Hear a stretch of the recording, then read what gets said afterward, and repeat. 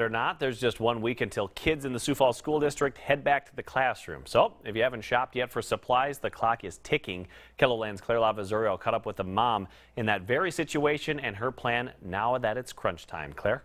That's right, Matt. Back to school spending is expected to reach $27.6 billion in the U.S. this year. And that's an average of $510 per household, an increase of $9 from last year. And the survey from Deloitte also shows children will likely influence their parents in more than $21 billion of those purchases, from clothes and electronics to school supplies.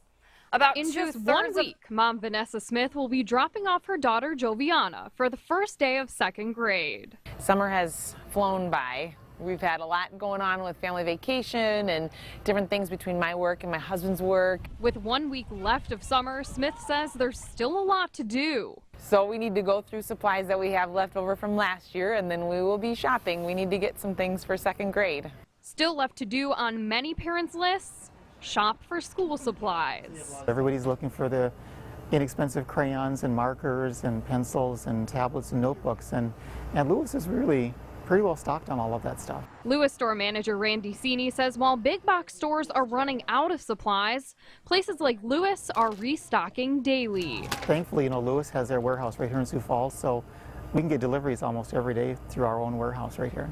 Sini expects many parents to be in the same spot as Smith, with last minute shopping or even waiting until after the first day.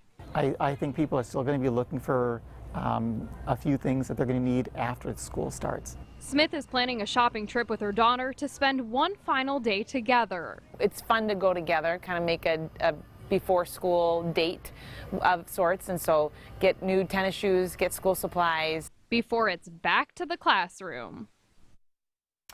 For supply lists and all of your back to school related stories, you can head to our special back to school page on KELOLAND.com. And there you can print off your supply list before you head to the store and even catch some of your Kelloland favorites when they were younger.